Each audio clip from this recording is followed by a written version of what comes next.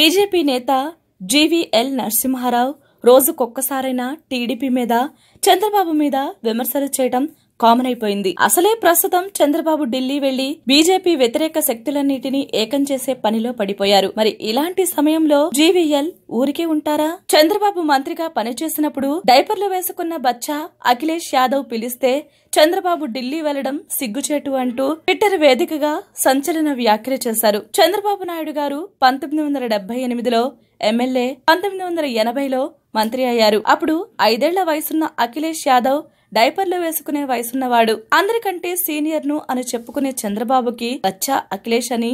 బచ్చా అఖిలేష్ చిటికేస్తే ఢిల్లీకి వెళ్ళడం సిగ్గనిపించడం లేదా? ఇది తెలుగువారి ఆత్మ గౌరవాన్ని కించపరచడం కాదా అంటూ చంద్రబాబు ఫోటో జతచేసి జీవీఎల్ ట్వీట్ చేశారు. ఈ వీడియో మీకు నచ్చితే లైక్ చేయండి. మీ అభిప్రాయం మాతో పంచుకోవడానికి కామెంట్ చేయండి. అందరికీ రీచ్ అయ్యేలా షేర్ చేయండి. కానీ మా ఛానల్ని సబ్స్క్రైబ్ చేసుకోవడం మాత్రం మర్చిపోకండి.